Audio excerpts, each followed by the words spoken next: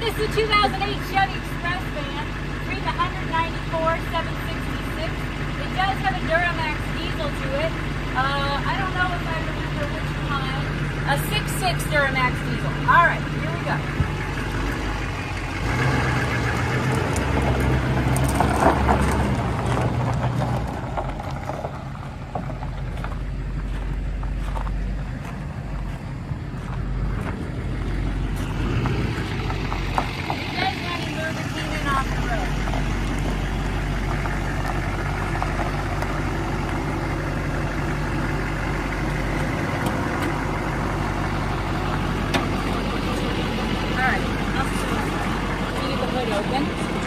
Right, here you go. 194, 766. This is a pretty nice van. Took me a minute to get it started because it's got like some anti-theft. Had to use the Chevy key that it came with. All right, here you go. You can see these seats in here. Rear door does open. We checked that. Uh, these fans work. It looks like the heat works. Doors work there. And this thing's got a nice radio system.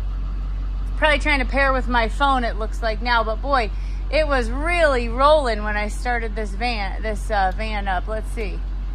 It's doing some sort of Bluetooth pairing. Don't know about that, but it was playing some pretty loud music a few minutes ago. Had a pretty good sound system. It's dual wheel in the back here. Back door did open. That open there.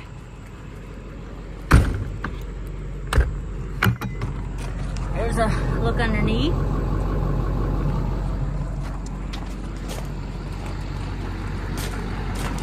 This needs a bath.